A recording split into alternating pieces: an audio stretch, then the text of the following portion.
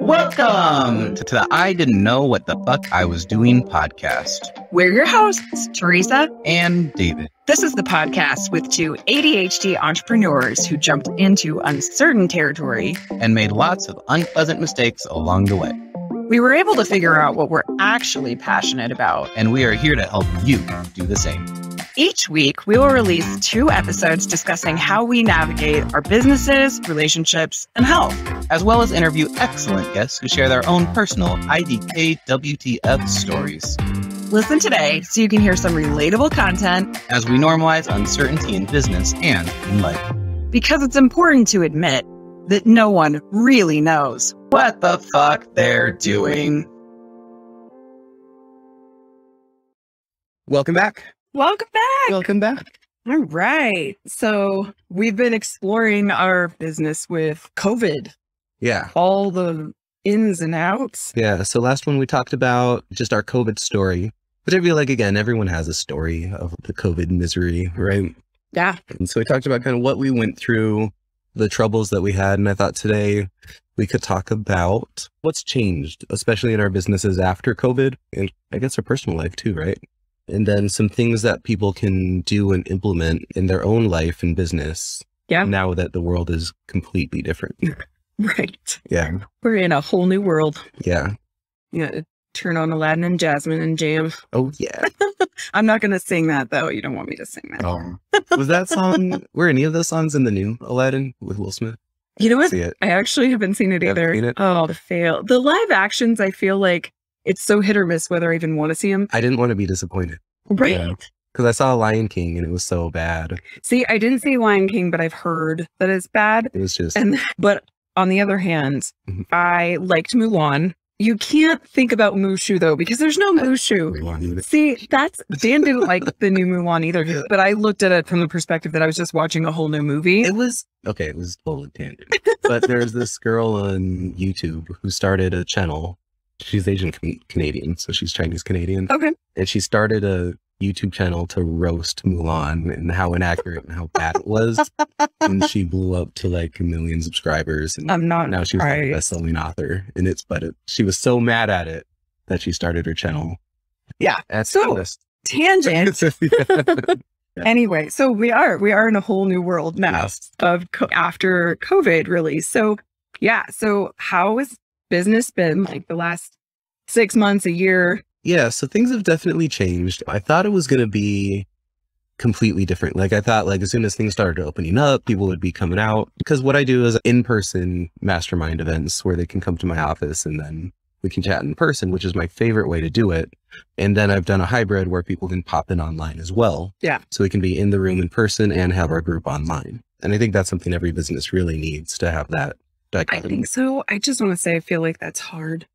It, it was It's hard for the person running it, I Yeah. think, more than anything, because Mhm. you're trying to focus like on your people online, but also Yeah. one on one. It's it's a different feel. So Yeah. anyway, That I commend you for like doing that. And I get that it's becoming normal and it's it's different. Well, here's the benefit is that people are are still not coming in person. They'll come online, uh, and people will even message me before I went to mastermind events, and they're like, "Hey, you know, I haven't been there before. Can They tell me a little oh, bit yeah, about it." or- Yeah, and they're like, "I'm like, yeah, I can come in person or not." They're like, "I think I'll just jump in online." Fine, You know, don't hang out with me. it's I want to see interesting you anyway. because I think I love socially being with people in person, yeah, but I think there's two big factors is one, business on top, pajamas on the bottom. right. There is something about being at home or you just don't turn your screen on at all. and it's totally true. It, but to me, it's just like the in person, the the energy of a mastermind group is more powerful in person. The Still energy of any human interaction, I feel like, is more powerful in person. And so I think that's where I think there's definitely some people who still have a fear about being with people they don't know in a large group, those kinds of things, which I totally get and respect. Yeah. And I think some of us are just like, well, it'd be easier. I don't have to get ready. I don't have to get dressed. I don't have to. Yeah, and actually, I will say, and I'm like mad that people aren't coming to mine. I'm not going to events at all, and it's not because I'm scared to. I just I'm so introverted for one. So it was like it took me a lot of work to get myself out to these anyways. Mhm. Then after two years of not being able to do anything, the trying to get myself to go to some networking event downtown. I'm just like, nah. yeah. It's like in theory, I mean, I love people. I'm extroverted and there's still for me it's like that. So I can't Mm. imagine the introverts that are in the same position because Mhm, like you're naturally like happier being alone right. or with one person, not with a big group. yeah. So So it's it's taking some effort to like get back out there. So that's kind of like the main thing. mhm. I also definitely notice there's more demand for people wanting to learn how to do their own business stuff. You can even see it, like I mentioned in the last episode, with network marketing. Like network network marketing is booming right now Mhm. because so many people know that they need to do something else to make more money. Great. Well, do you find that is there a certain type of business or is it just all sorts of businesses that you've noticed? Either it's coaching a skill, um, or like turning a hobby into a business, or turning like teaching the hobby into a business. So, like one of my clients, he's a beekeeper, right? And beekeeping is one of those things that's going away. But so he's trying to turn the teaching of the art of beekeeping Mm. into a company. That's fascinating. Other another gentleman was doing like a teaching men's fashion or like plus size men, right? So that was one another thing. And just yeah, just taking the skill that you have and turning it. And finding a way to like market it and sell it Yeah. as something that people could use or want to use. I mean, like beekeeping. I mean, my sister in law just got her own hive up Oh, in the wow. mountains. Yeah. Oh, I think that's really cool. And I think there's a call for some of these random trades, or I mean, people Just have these skill sets Yeah. that we don't And- think about. That's the key, right? Like kind of we mentioned before, is like how do you take your this thing that you're passionate about and then figure out, okay, now I gotta build a website and now I gotta like social media market and like who do I talk to and what do I do? Like who's gonna buy from me? Where there's a huge market out there for like literally anything. That's true. It's I mean, Getting to it, yeah. also, I feel like my ADHD brain is like, ooh, I'm going to talk about beekeeping today. like, like, but I think that's, I mean, how do you find the thing that lights you up that like makes your heart happy by experimenting, by learning a few Yeah. things here or there Mhm. and figuring out what really like makes you happy and lights you up? Yeah. The the flip side of that though, what I noticed is that even though there's more interest and more people are wanting to like branch out and make money doing their own thing, Yeah. I find the flake rate is higher. So people who are like really interested, really want to do it, they drop off faster than they used to. Hmm. So it's like the turnover in my mastermind group is is higher. Why do you think that? Do you think, do you have an, a theory? I think it's because there are more choices now. Um, because now everything is virtual and everyone's got some kind of online course or program or something. Mm, which is what I love about Colorado Mastermind is the in-person part, right? Because I think it's just the depth of what can be done in person is so much higher. Yeah. But yeah, I think there's just more options and it's either option overwhelm. Like people have so many choices now that they do none of them, you know, just trying different things. like decision fatigue is a real, real thing. Exactly. And I think also just in general, stress is higher everywhere, right? And so kind of like you were talking about, like you've got all these things going on in your household. How are you going to focus on your business, right? Like it's, that's the one thing because it's not for sure. It, we, you don't know if it's going to work or not work. It's, Right. That's the first thing that gets pushed to the side. Totally. Yeah. When you're not, when it's not making a steady, significant income Mhm. at that point, especially as a brand new entrepreneur Exactly. um, or a, a brand new business, whatever the case might be. yeah. Like, It's interesting because that's that's the benefit of the network marketing company is there's more stability and there's more like proof of concept. It's like, okay, I like these products. yeah, I can just go sell these products because I see all these other people making, you know, five, six figures doing it. When it's like your own thing, your own baby that you want to create, your profit's way higher because now you're getting all of the money. But like, and you the- can design it however you want and you can do whatever it is that you think is right. Yeah. but there's so much more unknown that it's easier to just get rid of. I definitely know that game right. from both sides. I definitely know that. So Absolutely. yeah, tell me about yourself, like kind of what's been going on post COVID. Well, as I mentioned at the end of part one of this podcast, August of 2021, I just realized how exhausted I was. And that the idea of jumping back into my business, it just was not settled. Like I, I started to kind of make a plan and it felt icky. It was like an instinct almost. Something was really pushing against. And I said, okay, I'm going to give myself about six months Mhm. and just evaluate later. Not a hard date. I was just like, let's just see. Let's just focus on my kids getting back into being at school every day. What does that look like in our routines? You know, Mhm. we're all different after COVID. Come like the beginning of February, I was like, okay, it's been about six months. Do I want to do anything with this? Mhm. And I kind of was like, I don't know. Let me just see what happens. I'm not going to plan anything. Yeah, that's not a very great way to like to- be an entrepreneur and have a business. Sure. Like doing nothing is not going to change what's happening. Right. But I think I just wasn't I wasn't ready to commit to a business plan still. I just didn't want to do anything at all. yeah, I totally get it. And I think, well, over the holidays, like it's holidays, there was a lot of stuff going on with family and the kids and all that. Then you called and said, Hey, are you still interested in doing a podcast? Yeah. And I was like, Well, yeah, I don't know exactly what it would be about yet. Like I have an idea.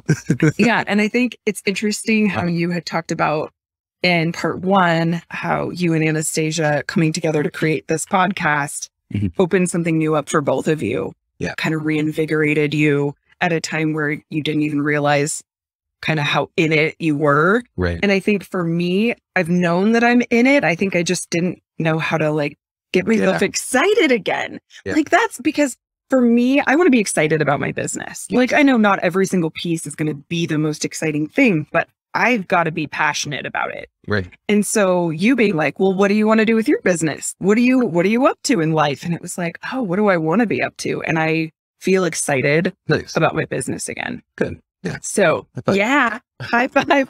Thanks for calling me, David. No, and that's something I always say is like the world works exactly the way it needs to, right? Uh, like things happen the way they need to happen. Um, and yeah, and it's not like it was planned. I was just like, okay, we need to do season two, and Anastasia's off doing her other thing. I was like, I still want to continue the podcast because it's good for me as well. And I was like, who of all the people can I call and be like, hey, uh, let's do this thing? And you're literally the only person I think that I would have done this with. Yeah. Well, I, like I said, when you reached out to me and I was like, really?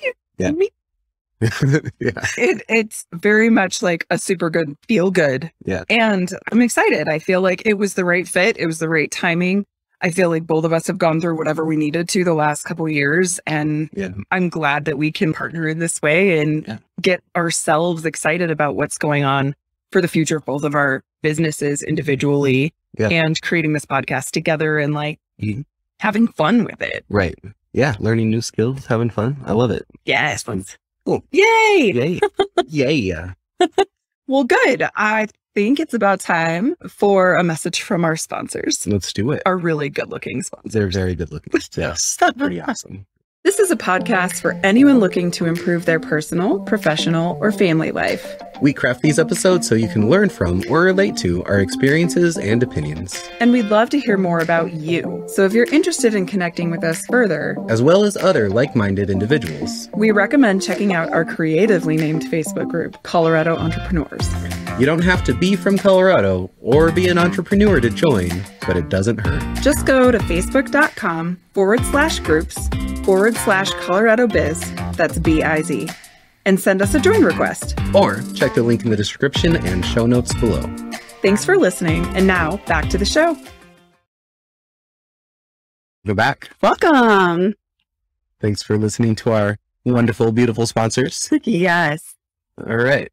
We were talking about just what it's been like for like the last six to nine months or so here in our businesses, where we're going, what we're doing, that we're both like excited and we're noticing like some changes or making changes or Yeah. and I feel like that's like the normal place to be right now for everybody. Absolutely. And then so I thought we could talk about kind of like what's coming up and like what some of our listeners can do. Yeah. Because we're in this like absolute insane time right now. So it's it's May, right? So it's May. Yes, it's May. It's the middle of May. I had to think about it too, though. You're asking, and I'm laughing, not because you asked if it's May and it's May 16th. So it's the middle of May, Yeah. but because I had to think about it for a second too. Time. A time. Time and ADHD.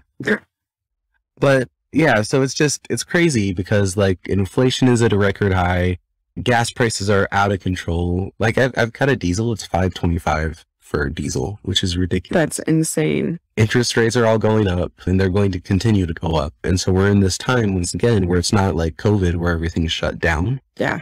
Everything's just getting more expensive and our dollars are going less far and employers aren't paying as much. Ugh. So we're at, again a crazy time where we know we're not stable. We know that we need something else to make more money. Yeah. Something has to change. Like it's going, it's going to change. And it's like, we also have to make our own changes because if gas prices stay this high, if the cost of housing stays this high, if I was like, it can't, it, I don't know how it can. Like, I don't know. Exactly. That's exactly right, right? It's yeah, it's a very unclear economic time, which is the first time since the downturn of 2008. Once we came back up from that, Mhm. we just been soaring along. Yeah. The longest growth in the history of the United States, right? And so it, it doesn't last forever. We had a little bit of a correction back in 2020, but again, we've had record stock prices, right? So, you know, it's the middle of May. This will probably be released in June. I Mhm. don't know what's going to happen in that time, Right. But I know it's like day by day right now. It's like some days, like stuff is just is gonna happen.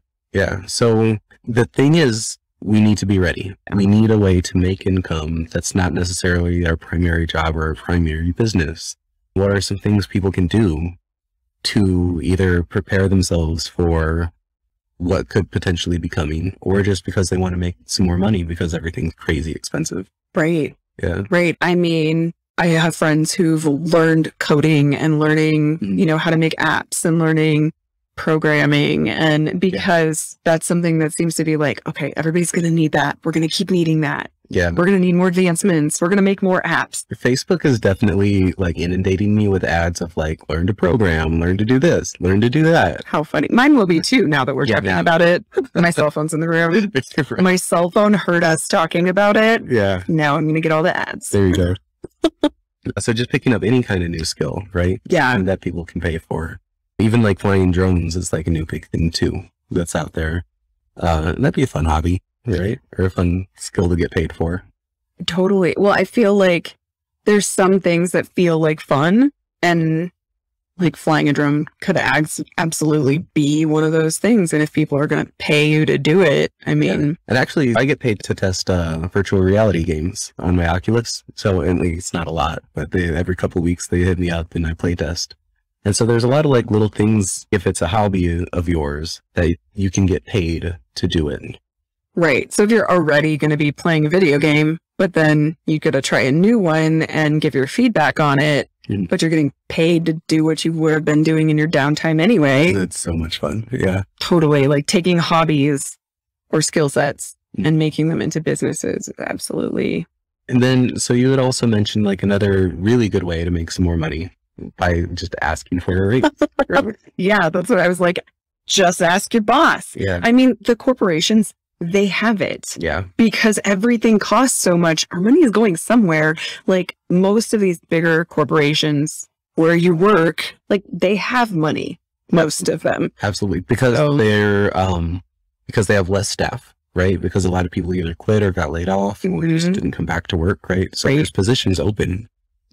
On your team there were five people before and now there's three, The three is, of that extra payroll, yeah, And chances are you're not getting paid. Right. more. Chances are you're not getting paid. I mean, and that's a huge discrepancy of like we're watching prices of everything soar Mhm. and then we're not getting paid. Right. I was talking to my brother-in-law who works up in the in the mines up here in Colorado. He's like the McDonald's in Steamboat pays like $20 an hour to start. He's like, we pay $30 an hour, but their job is super high risk. What, is, what is he like? He's in, he the works in the, mm. pickaxe? in the coal mines. What Well, does he someone do doesn't- in a mine do? he doesn't do that. Like, you know, honestly, like it is physical labor. I, Yeah. I honestly never asked him exactly what it looks like to be down there. Yeah. It's like you would think doing a job that's like dangerous, you would get much more. Yeah. right. And I mean, their schedule is rough. The way they do things like is is crazy. Mhm. And he's like, that's the problem we're having though is no one will come work. And even though it pays good, he's like, then when other McDonald's or wherever is going to pay their employees better, which is what we want, Right. so do all the other jobs. Absolutely. They need to go up too, and they're not. Right. And we're having that as a big problem. So it's like, yeah, you got to ask for that raise. And But I have known people who like ask and they do get a raise. yeah, The company has it. it's crazy to me that the argument against paying uh, frontline workers like $20 an hour or the $15 that they were going for Right. is like, which is still not enough money. yeah. Like if you work a 40 hour job at $15 an hour, it's not going to pay all your bills. Yeah, but the argument is like, well, I went to college, I've got this job, and I only make twenty dollars an hour. Why should they make fifteen dollars an hour? Because the corporation should be paying you more money. That's yeah. No one makes that argument. Like I should also make more money. right. They They're like, why would you make more money? I only make this. Right. They're like, don't hire minimum wage. Yes, hire minimum wage, but also hire everybody. all of the wages. If Yeah. you work at a skilled, specialized job, Mhm. you should be making a lot more. And when we think, oh, well, only CEOs make that kind of money, or only executives make 50 or 60 or 70 dollars an hour, well, maybe that's the problem Well, is that So there's a stat out there. People think that like a CEO makes maybe 10 to 20 times what the frontline workers make. It's like it's so 300 times. Crazy that if we're bumping up minimum wage, then everyone else's wages should be bumped up too. It should be a parallel because the people who have worked really hard, who've worked in their jobs, who've worked their way up, Mhm. and then they're like, yeah, I only make $5 more and I could just go work at McDonald's. I would have no stress. I wouldn't have to work overtime. I wouldn't, I mean, Well, in as much as McDonald's was, I personally could not work at McDonald's I- because I couldn't handle it. I have no urge to work at McDonald's. I also couldn't be a server because it's like, like that's just to me that's a really stressful job. Like, I love and I, working in a I restaurant when I worked in a restaurant. I don't- I don't want like- to, and I love to be. I don't know. Maybe that's a social part of me, though. and that's probably a fact. Get to make new best friends with every Yeah. table you meet, and the It's bestier friends you can get, the better tip you get. Yeah. But also, that's so messed up about serving too, is they only make ah yeah. two, three dollars Let's do a whole episode on like on this. specific. Yeah, because this is definitely not. We're triggered on this. Apparently, we are. We are. Okay, so you could ask for a raise. Also, if your boss doesn't want to give you a raise, David pointed out. So smart. Okay. Yeah, well, just go get hired somewhere else. Go apply. Yeah. And get hired and see what they're going to offer you, and then take it to your employer and go. I'm offered this. Yeah, I actually Match it. Go above it. Do what can you do for me? Or I put in my two weeks. Yeah, I just had this conversation with a friend actually. She works as a in a vet clinic. I don't know exactly her position, Mhm. but they're understaffed, right? She's doing the job of like three people. She's not getting paid more and she's constantly beyond stressed. And I told her I was like, you should go just go apply somewhere else. Like go see what someone else will pay you. And what she told me, she's like, "Well, I don't want to go work anywhere else." Like that's okay. You don't have to.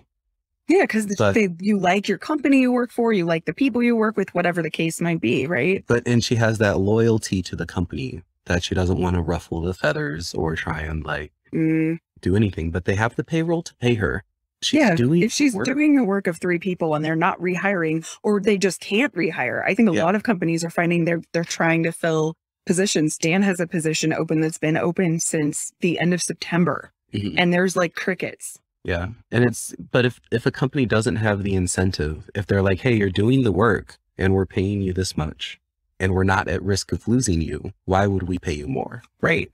and so it's just hey go apply somewhere else see what your market value is Right. you don't have to take it but just go see you know Yeah. and then if it's a better offer then you get then you have choice right you can either go work for someone else which might be better staffed better benefits better a better environment Yeah. or you can take that to your current boss and say hey i don't want to quit but this is what they're offering me i need you to at least match this otherwise i have to because everything is more expensive Right. Because I can't afford to live and I love this company and I didn't even want to do this. right Like, and you can actually say that to your employer. You can actually say, I did not want to do this. right I didn't, I don't want to leave and go somewhere else. exactly But yeah, for sure.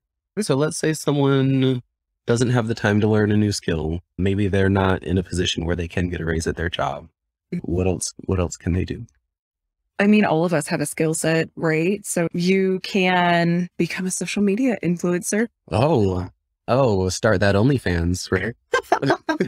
I don't know, maybe. or maybe something Um, a little more PG. Yeah, maybe something a little more PG. I think. OnlyFans tried to branch out into other things. It didn't really work. It really didn't. I Yeah. really, that was one I thought I was like, okay, People want to go to their. OnlyFans for what they go to Yeah. their OnlyFans for. because I like to follow trends, right? So like fitness influencers are big on OnlyFans, just just real fitness. Yeah. And so is fashion.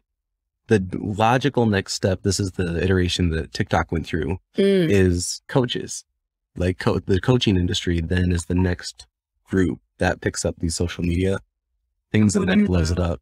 And then it goes to everyone else. But the coaches never picked up OnlyFans. Mm. Well, I think because OnlyFans, there's just a It's stigma of what it what it's for, Exactly. and it's for physical And yeah. I think and sexual and well, I mean, and that's what it's known for. Like Yeah. when you hear like an OF, and if you're like, "What's OF?" It's OnlyFans. And people are referring it to OF because they don't want other people to hear that they're either a creator on OF or whatever. Because a lot of times it is sexual in nature. Nature.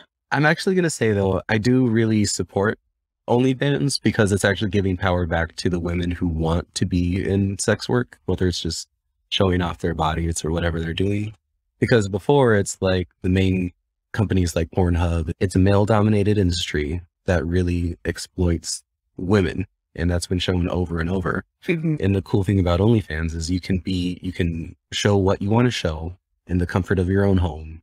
And You're running it yourself. It's your own business. yeah, exactly. So I think it's much safer and healthier in the grand scheme of things. Yeah. If that's if that's the if that's the business that you're choosing to be in, yeah, like you should make money for yourself. I mean, seriously, I feel like that's that's the way for everything. Like Mhm. even the creators are leaving Etsy in the art world. They're leaving Etsy Oh. Yeah. because I heard Etsy is just raised the Etsy is price. taking more Yeah. money from creators. So creators are having to bump up their prices to the people that buy from them. But what's happening is creators are like, well, I have an Etsy, but I'm getting my website set up. I'm Yeah. getting it set up. So because they're already making their product, packaging it, selling it, yeah, and they may have a successful Etsy business, but that's like, it's a big thing in the art world right now of like, oh, nope, I got to make my own site. and they still have to market anyways, right? So then they, if they just grow their TikTok following or they grow whatever social media presence, Yeah. that's what they have to do to make money anyways. Just Absolutely. do it on your own site.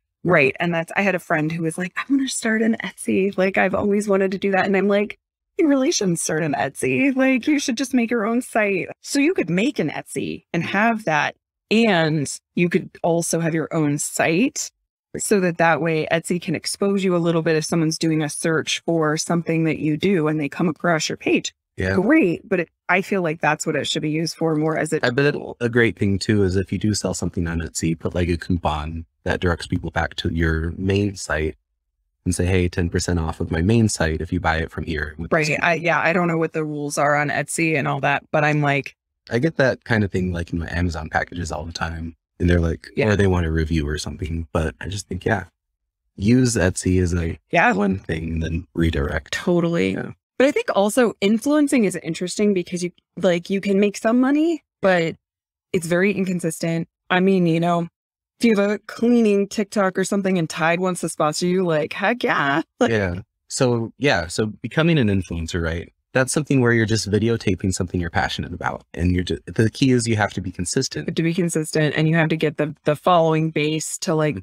actually start following you. But that a lot of times on different social media, it's like you literally are spending your life on social media. You're posting Can- everything. Yeah. But I mean, a lot of those people, like this TikTok's a perfect example. I've seen more people make just make more money than ever expected just because they went viral for one, for one thing. They keep up the, whether they like making a skit or they're showing off what they actually do at work or they show off their art, right?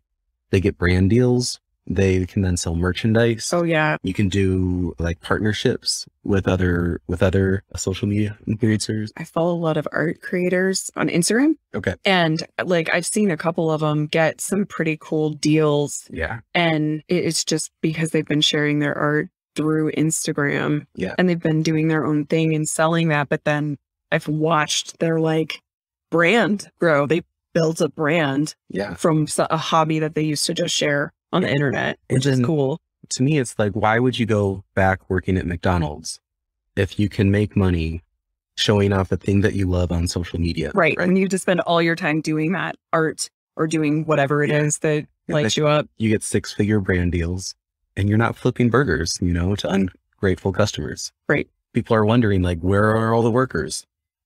Doing something else, you know? No one wants to work anymore. It's like, no, No, we people just don't want to work. Thankless jobs, people. Yeah, exactly. Shitty jobs. That's exactly it. shitty jobs or shitty pay or just like the crap that you get put through and some high stress. I mean, teacher burnout is a real thing. I mean, I'm sort of afraid for what's going to happen over the next five years in the world of Yeah, academics because I really don't want to teach my kids. You're right. I love them. I just, that's not, I want my teachers. Please, teachers, I love think- you. But because teacher burnout is real and they're important. Education's so important. And if you don't treat them right, they burn out and they're tired and right. That's what happens. Yeah, totally. What's a, a big final thing people can do? Uh, well, you can do what we do, which is start your own business. Yeah. So, with an existing skill set, like I said, you have some sort of skill set already, right? So, what skills do you have? Do you have beekeeping skills? Do you have fashion skills? Do you have cooking skills? Like, what Um, what do you love? gardening skills. Gar- yeah, or even like teaching art, right? Like if someone loves doing art, they can teach it. And like hmm that's there's a high demand for that. Totally. Singing, people love like because we live in this world now where we don't necessarily want to learn from the experts. It's like this person has this credential on blah, and they went to blah blah blah. It's like I'd rather learn from someone who's doing it, who's like has the experience. They might not have a credential of going to some school, Mhm. but if I want to learn how to do art, like if I want to learn how to oil paint, I would much rather learn from someone who just loves oil painting. Who loves oil painting and who's willing and has the patience to like Yeah, teach you? Yeah, exactly. would be way i think the experience would be a different experience Mhm. and people like that and i think people do want to support small business support support creators they want to support someone locally like if i can find some cool handmade jewelry and it's a girl that lives on the other side of the denver metro area then i'm going to go drive and meet her to pick up earrings if you Right. know if i need them quick and i'm like hey can you help me out like i've actually done that before where i'm like hey i want to give this as a gift Okay. and she literally like we live across town we met and like but it's like i also so i got to support her she was willing to work with me when i needed and i've reordered from her since Nice. because Okay. i want to support my local artists like Yeah. people that are living in the area i'm living in like Mhm. that gives you options but i think where people might get stuck is in the marketing it. Yeah, because like how do i build my social media? How do i do this? Where do what do i do? Where do i go? And i think that lends itself to a couple different things one of which is like joining a mastermind group like Absolutely. colorado mastermind or like another group in your area. Any kind of community. right. Uh, a facebook group. David and i have a facebook group specifically for entrepreneurs. I mean just saying can always check that one out. You know, but it really is it, it's shameless plug. well a shameless plug but it's like the idea is really to be able to support each other and help each other Mhm. in our community so Another thing is, so a lot of people listen to like motivational podcasts or motivational like YouTube videos. Yeah. What I actually think is more helpful for people who who want to start a business is like more of a, like a how to course or how to podcasts that teach the actual practical skills of okay how to implement X, Y, and Z, whether it's setting up a landing page or figuring out how to market mhm. it can be frustrating and overwhelming, but if you have like the, a template yeah to do, it makes it much easier. oh, yeah. And if you do have a coach, it makes it even easier for that. So Yeah. I sort of feel like that's what you did for me. Mhm. We met, I mean, virtually at at the time. We met a, a few times and set up all the Just things, and you, you coached me through it. and Said, Yeah. "Okay, here's what you should set up next. Here's what you should set up next." A lot of us we get so overwhelmed. Yeah. So if you take a course that is explaining to you, "Hey, for your business, here's how to set up," think it's magical. it just makes it so much easier, right? I think a lot of people too who haven't thought about it, like, what am I going to teach? Who's going to buy from me? But the, honestly, if you create something like we mentioned before, I'd rather buy from my friend, Yeah. or be learn something from a friend who can teach me. if they have it set up. Yeah. So I was laughing because I was just thinking of, um, have you ever seen Field of Dreams? yeah, If you build it, they will come. Yeah. Like it, it's true. Yeah. I as mean, long as you let them know that it's there. That's the key. yes. If you build it in a corner by yourself where nobody can see you, they will not come. Right. if you build it in a corner by yourself and you put it on some social media and you tell people what you're doing, they will come. Yeah. I think, and that's like a big thing. I think people are always surprised when they get that first sale and they're like, wow, it's, it's the best feeling for me to watch that happen. Yeah. Well, someone believed in me. Exactly. Someone is excited to work with me. Someone wants what I have to offer. Yeah. It's a big deal. It's exciting. Cool. Well, I think that covers kind of all the, Yeah. at least some options anyway. And it's just, things are definitely hard out there for everyone at the moment. Yeah. Almost everyone. It's just, the world is in chaos. It is. It's uneasy. We don't know what's going to happen. So prepare yourself Yeah. as best as you can. Mhm. And uh, if you're not sure where to start, you can always reach out to me and David. Seriously, like we're happy to chat with you. And You can direct message us right in our Facebook group. seriously, Yeah. So do it. do it. Do it. All right. Well, I think we ran a little long on this episode, but thanks for joining us. Thanks for listening. Yeah. We hope it provided value. And uh, we'll see you next time. Have a good day, guys. Bye. Thank you for listening. This has been the conclusion of our two part series. And hey, congrats for making it here. If you didn't happen to catch part one, just go back to the previous episode to get the full story. It was a really good one. If you enjoyed today's conversation, please consider liking, subscribing, and or reviewing us on wherever you listen to your podcasts. Also, if there's someone you know who clearly doesn't know what the fuck they're doing and would benefit from this topic, please hit that share button and send them this episode. Let's normalize the feeling of uncertainty. Asking for help and admitting that we don't know What the fuck we're doing either. either.